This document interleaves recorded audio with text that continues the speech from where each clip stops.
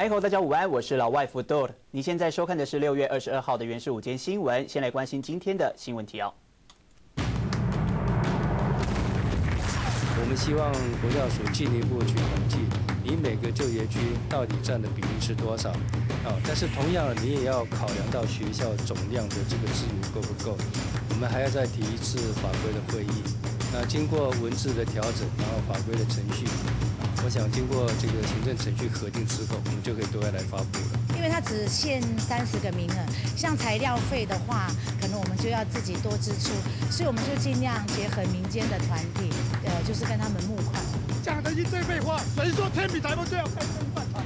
所有的天比台风没有一百场就不能盖吗？我们点景台风所有的工程完工以后，周边的一半场两个月以内。完全拆除跟复演的动作。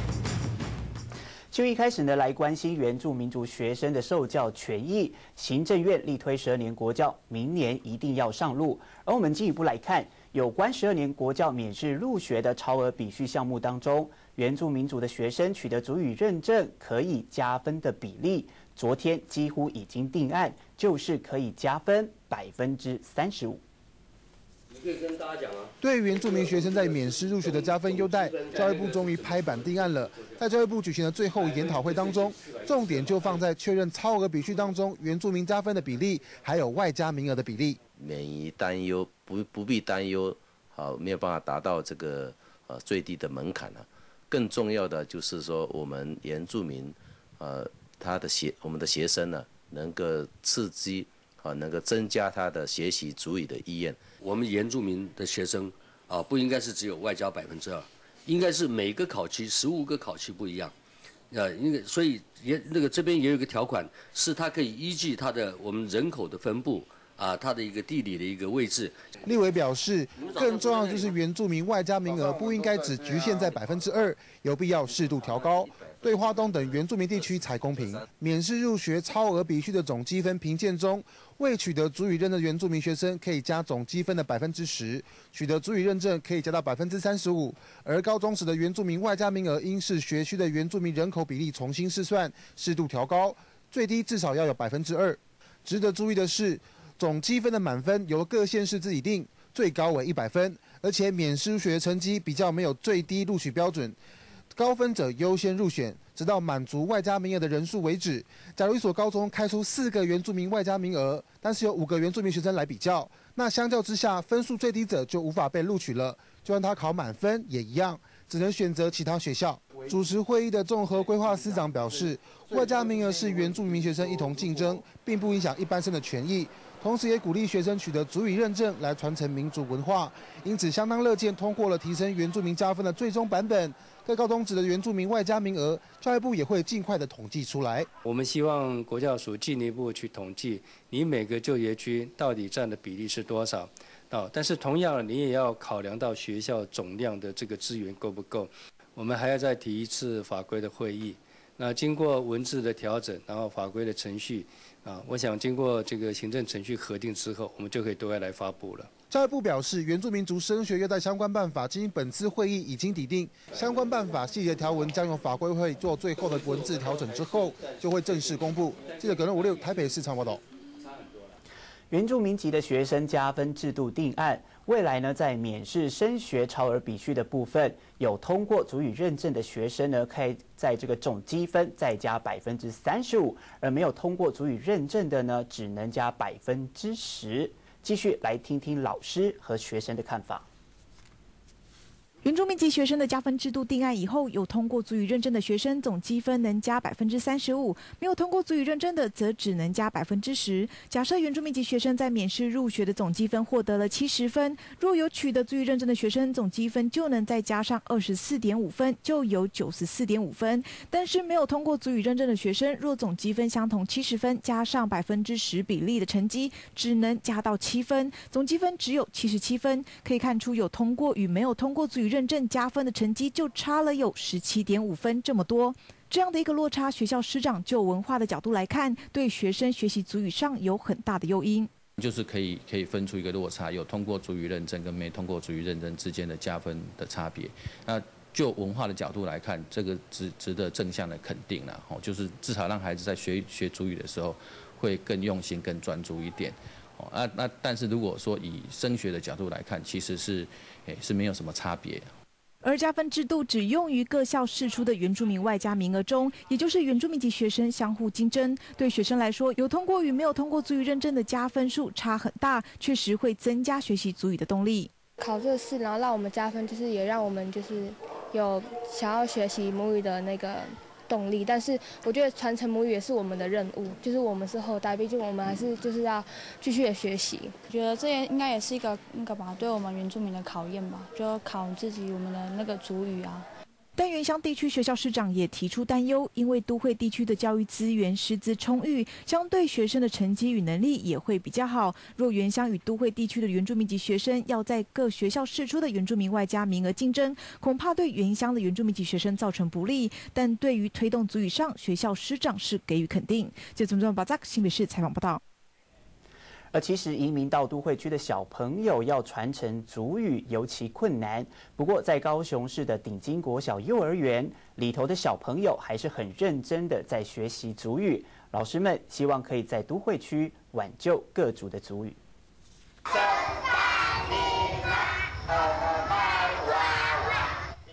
院的小朋友们在老师的带动下，快乐学习阿美族的童谣。每位孩子都表现出认真的神情，老师也尽心的教学。这是高雄市顶金国小幼儿园举办的本土语言成果展，有一百多位非原住民的孩童，在自然无压力的语言学习环境，轻松快乐的学习原住民族文化。他们是完全非原住民，那我们要必须要用把台湾的原住民的文化，一定要让他们认识，要不然很多小朋友都不晓得。这个阿美族。最喜欢吃的什么东西？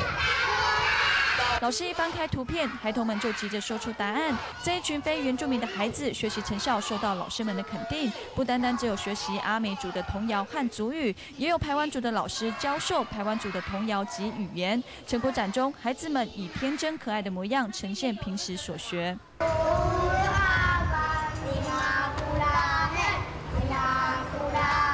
连我们自己原住民的小朋友都没有学习到，都不会。那呃，不知道是不是其他的族群来学我们，有没有那个？呃，当然不可能说没有意义啦，是说，呃，实质上应该是需呃需要是应该是我们自己族族人来学习会更好。成果展中，孩童们表现杰出，让身为台湾族语言教师不免有点感慨。他表示，有非原住民的学生来学习原住民族文化是件好事，但是在语言几乎濒危的状况下，是不是应该更积极地加强原住民族人本身的语言能力？记者母定高雄市采访报道。继续来关心我们原住民族人的老人家，新北市原民局的长青学院今年迈入的第二年，课程呢也已经开课，不过呢却限定人数。一个区只能有三十名的老人家报名。在新北市这个原住民族移民超过数万人的城市，包括了细致、树林、瑞芳，都涉及了好几千名的原住民族人口。而光是在细致符合资格的老人家呢，就超超过了百人。遇到超额该怎么办？面对经费的短缺，民间团体还必须自行募款。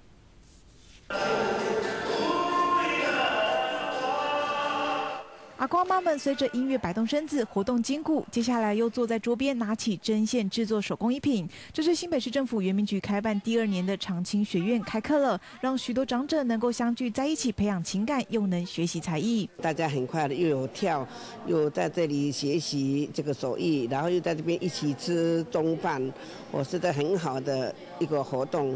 这个长青学院第一年只有在西址设点，当时就有八十多位的长者参与，而今年则在新北市的六个地区开设，有西址、树林、瑞芳等原住民人口较多的地区，这次却限定只能三十位长者参与。对原住民及长者将近有一百人左右的西址地区来说，若参与的人数超过，该怎么办？因为它只限三十个名额，像材料费的话，可能我们就要自己多支出，所以我们就尽量结合民间的团体，呃，就是跟他们募款。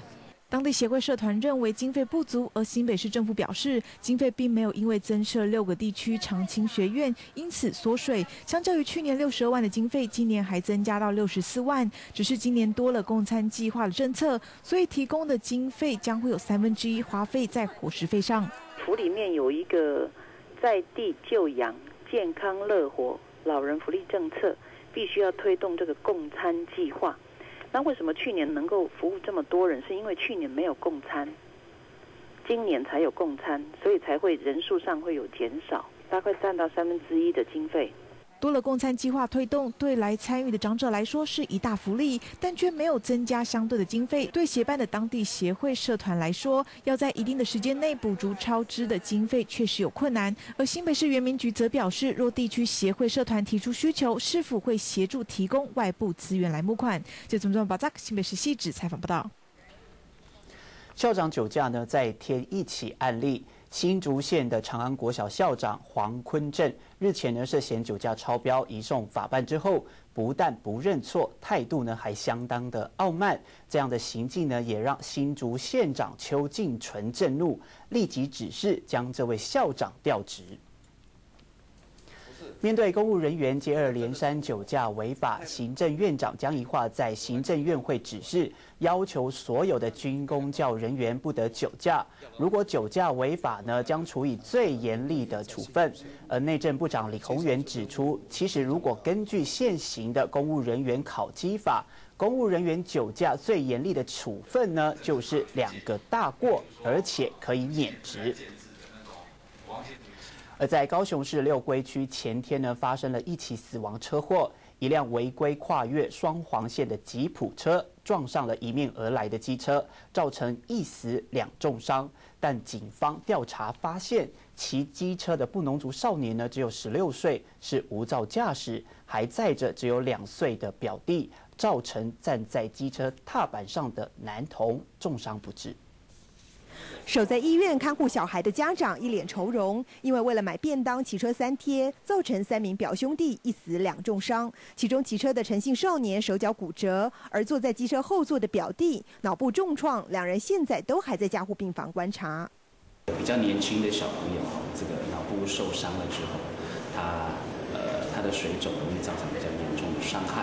哦，那这个比较严重的伤害呢，就需要一段时间的观察和治疗。这起车祸发生在十九号中午，十六岁的陈姓少年吴昭骑摩托车，前后分别载着两岁和十二岁的表弟，在行经六龟宝来一号桥时，被对向跨越双黄线超车的吉普车迎面撞上。站在脚踏板上的两岁表弟首当其冲，抢救后不治，其他两名少年也受重伤。吉普车则车头受损，陈姓驾驶没有受伤，已经移送检方侦办。肇事责任的话，我们初步分析原初步分析的研判哦，是主要是汽车。为了要超车，然后跨越双黄线行驶这样子。由于灾区疏浚工程还在进行，宝来一号桥目前限速只有二十公里。事发当时，双方是否超速，以及陈姓少年无照骑车、脚踏板违规载人等责任，都还要再厘清。不过，南部民众多以机车代步，也经常在脚踏板载小孩。警方提醒，虽然这项违规罚款只有三百元至六百元，但往往一出意外就造成前座小孩重大伤害，提醒家长千万不要冒险。记者中分陈显坤高雄报道。而就在日前，花莲门诺医院传出护士吊点滴上班，引发了外界重视医护人员的权益。西北市劳工局呢，最近抽查了十家医疗院所，结果发现呢，新店的更新医院、三峡的恩主公医院以及树林的仁爱医院，都是护士长期加班积假，院方不愿支费加班费。而且呢，不经护士的同意就擅自直接改用机假补休，涉及违反劳基法的规定，因此呢，通通开罚两万元。劳工局强调，各医疗院所都应该遵照劳基法的规定，如果是假日上班，就必须加一倍的工时计算，日后呢将不定期的复查，若仍未改善，最高呢可处三十万元的罚款。为了要施作地方的建设，不过却引来抗议的声浪。台东兰屿东青水泥预拌厂原本呢在昨天就要动工，不过东青部落的雅美族居民在过去这段时间呢不断的向政府表达反对的立场。原住民族人认为这是兰屿雅美族人的传统领域，政府开发原住民族的土地必须征得原住民族的同意。因此呢，在昨天的动土日子，果然就出现了大批的雅美族人与大型机具对峙的场面。从台东调派的警力，手边拿着盾牌，一个一个从船上下来。这是在兰屿开元港，约六十多位的警力准备排好队伍，前往东青七号地的抗议现场。而约有两百多位抗议的族人，一大早就在现场坐在大型机具前，要阻止厂商开挖。不过，族人看到警察到来，觉得派那么多警力显得有些夸张。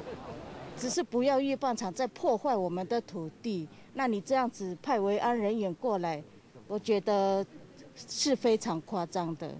为了现场可以和平的解决问题，警方代表在现场也多次向东青部落自治会表示，只要大家很理性的表达诉求，警方不会有任何驱离的动作。抗议现场也都在和平的状态，并且等待蓝屿乡长出面到场说明。约在中午时间，在警方的维护下，乡长终于出面说明。我们天品台风所有的工程完工以后，这边的预拌厂两个月以内完全拆除跟复原的动作。蓝屿乡长张多利向现场族人表示，总共有三次向部落族人说明，不是没有和部落沟通，不过还是找个时间与大家面对面，希望大家以理性来解决问题。经过蓝屿乡长现场五分钟的说明后，就迅速离开，让现场部落族人感到一阵错愕。有部落族人激动表示：“没有预拌厂就不能做工程吗？”他讲的一堆废话，谁说天品台风就要盖这个鱼霸厂？所有的天品台风没有鱼霸厂就不能盖吗？台东县政府、蓝屿乡公所、东青部落自救会三方没有达成共识。台东县政府表示，会依蓝屿乡公所与部落主任进行协商，达成共识之后再动工。天品台风重建中的各项工程总共达二十一项，将陆续动工。因为东青七号地新建临时预拌厂所衍生的土地问题，蓝屿全岛族人正思考蓝屿的未来发展。记者小马大胜，古六卡卓菲亚，台东蓝屿采访报道。台东县政府在诸多的开发案当中，对于原住民族基本法的解读和原住民族的观点大不相同。来听听看台东县政府的态度。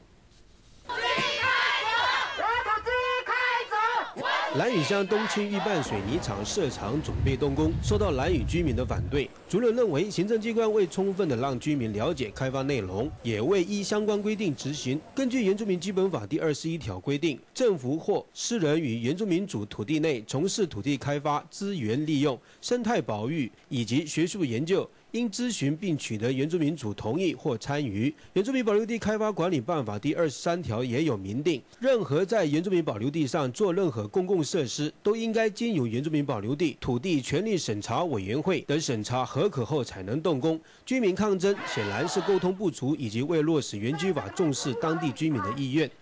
原基法的母法是做了基本规范了哈，呃，不管是有关传统领域啊这一些 用语或者未来的方向，它是有一个规范。可是，在具体的做法上面，目前比较没有规范到那一种细则。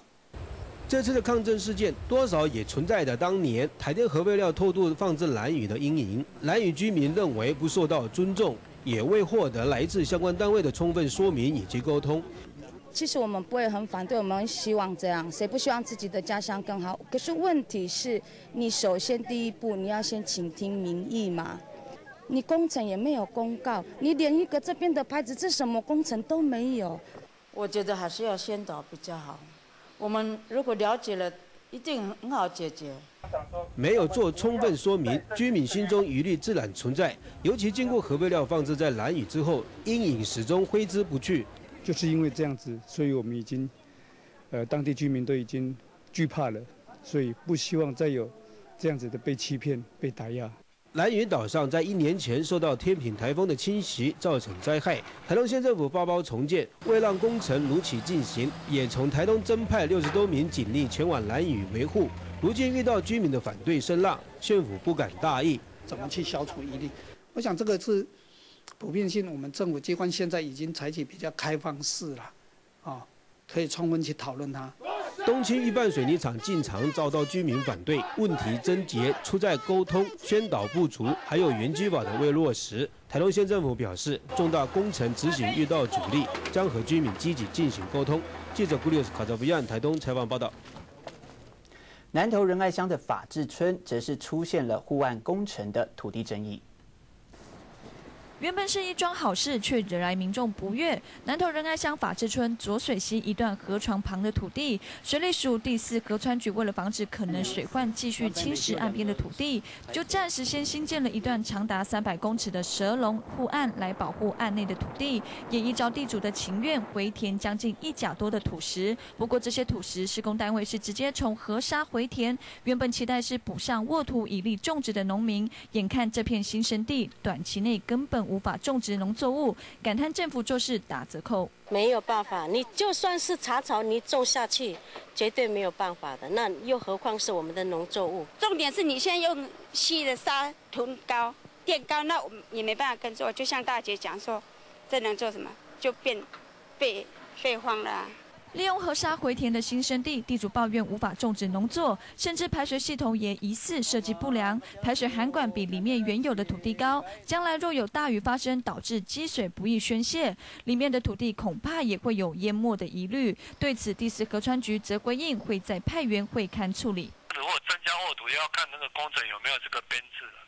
如果工程有这个设计的话，我们沃土才能跟他做。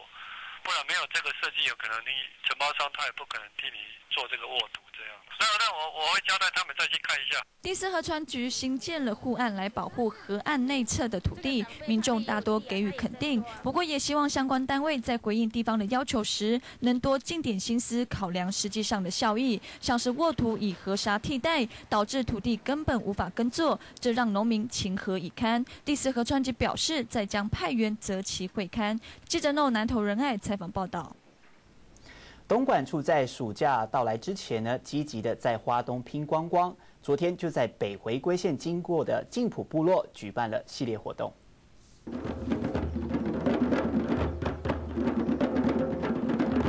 西里亚抱抱鼓队精彩的乐曲，有静浦部落头目引领现场民众用丰年祭的歌舞迎接北回归线夏至的第一道曙光，也为台湾夏至二三五系列活动揭开序幕。太平洋的曙光清晨四点多缓缓露出，五点多日出从太平洋升起，迎曙光活动吸引了许多游客及部落民众参与。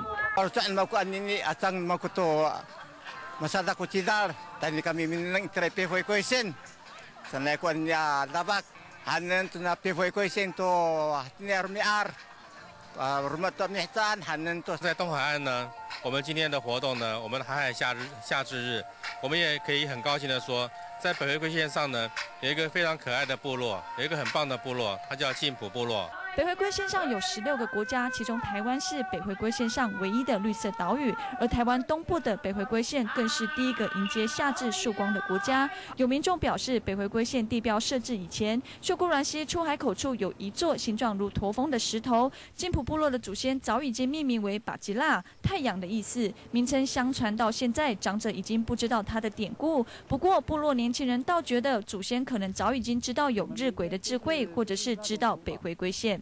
有时候他们自己也会觉得，哎，这个老人家真的很聪明呢，是不是？在哪一个角度看着这个石头，当呃这个太阳升起的那一刻，呃，是否就就是我们讲的北回归线，应该是在这里。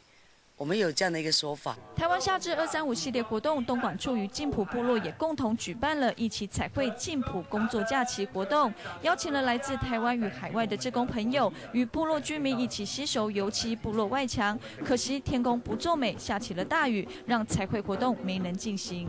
我们改在室内的活动，室内活动我们请我们编织。编织老师来教大家做比较传统的编织。我是住在台北，然后我就觉得其实很少有机会能够这样深入一个部落去了解他们的生活，然后了解之外，我们还可以再尽一份力。金浦部落为了搭配台湾夏至二三五系列活动，也已经准备好慢走慢游行程。从现在起，已经受理愿意来部落深度旅游的游客报名。行程将体验传统竹筏顺游秀姑峦溪、撒网、放虾龙以及出海口三角网捕捞文化，享受太平洋美食、景点游览等，游程非常丰富。记者法务花莲封兵采访报道。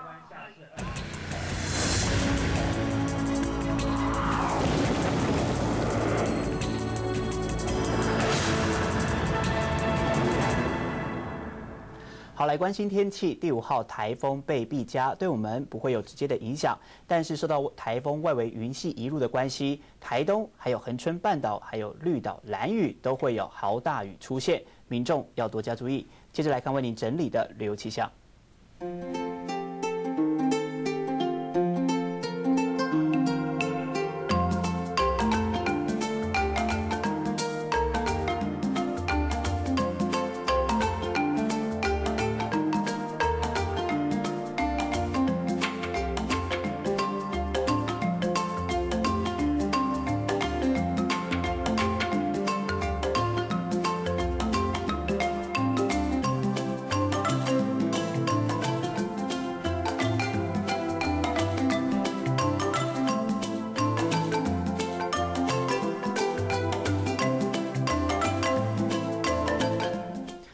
你有相关的新闻题材要提供给原氏，欢迎拨打原氏的客服专线零八零零二一零零零。感谢您的收看，我是老外福豆，祝你一切平安，再会。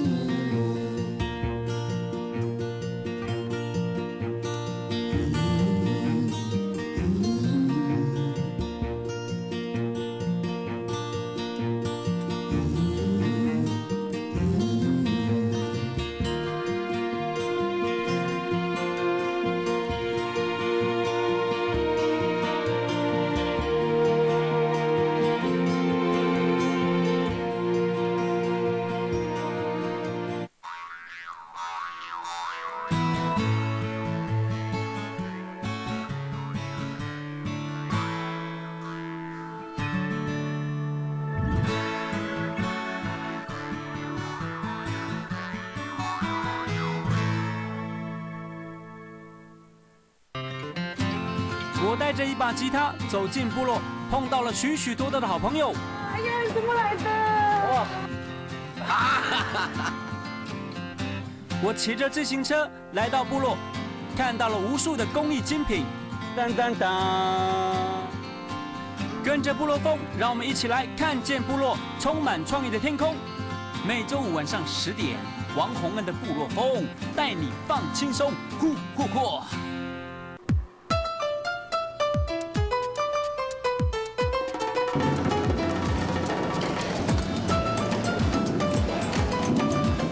makapah ko namina tu no nonatakao. Di ayaw, upifutingan nunanya ro ayat enayan ami ining kukay. Sa tani itini amaru amafulaw upisakayan tunusari kakak.